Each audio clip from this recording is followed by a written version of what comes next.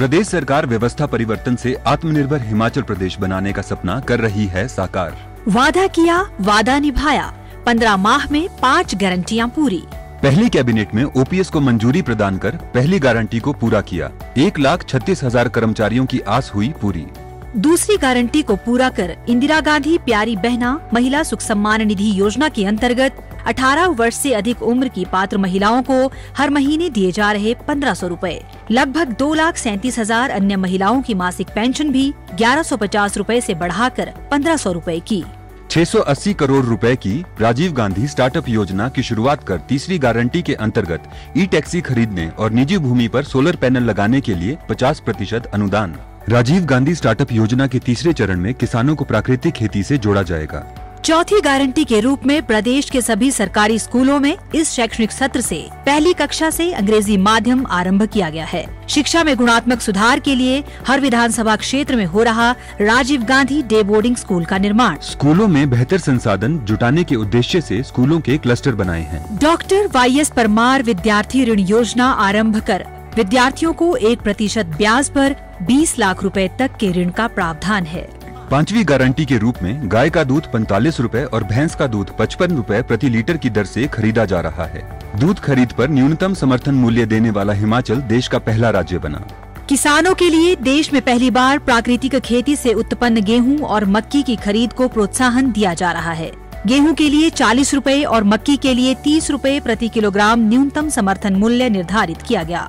मंडी मध्यस्थता योजना के तहत सेब किन्नू माल्टा संतरा और आम की खरीद बारह रूपए प्रति किलोग्राम और गलगल की खरीद दस रूपए प्रति किलोग्राम की दर से करने का निर्णय लिया। सूचना एवं जनसंपर्क विभाग हिमाचल प्रदेश सरकार द्वारा जनहित में जारी।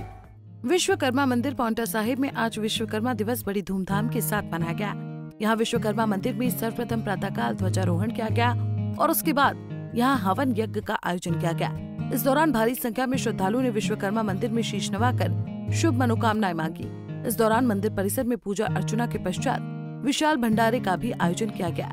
विश्वकर्मा मंदिर समिति पौंटा साहिब के अध्यक्ष रामगोपाल धीमान ने बताया कि आज मंदिर में विश्वकर्मा दिवस बड़ी धूमधाम के साथ मनाया जा रहा है। यहाँ भारी संख्या में शहर के सभी वर्गो के लोग नतमस्तक होने पहुँच रहे हैं।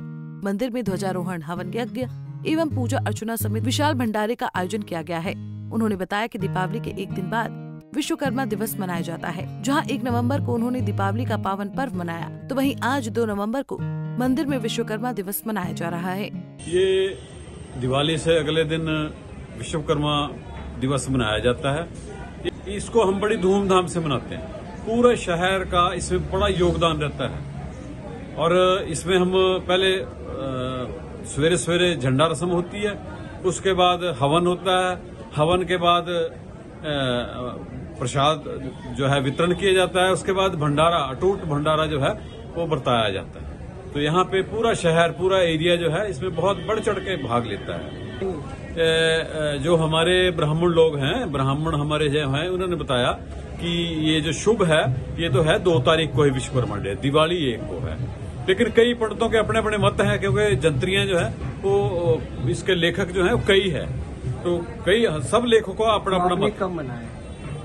हमने दिवाली कल मनाई और आज हमारा विश्वकर्मा डे। पंजाब की स्ट्री टीवी के लिए नाहन से दलीप सिंह की रिपोर्ट। हमसे जुड़े रहने के लिए हमारे YouTube चैनल को सब्सक्राइब करें और नई वीडियो की नोटिफिकेशन के लिए बेल आइकॉन को दबाएँ। अगर आप ये वीडियो Facebook पर देख रहे हैं तो लाइक ज़रूर करें और ज़्यादा से ज़्यादा शेयर करें। इसी तरह के और भी अपडेट्स के लिए फॉलो करें हमारा इंस्टाग्राम पेज हिमाचल डॉट के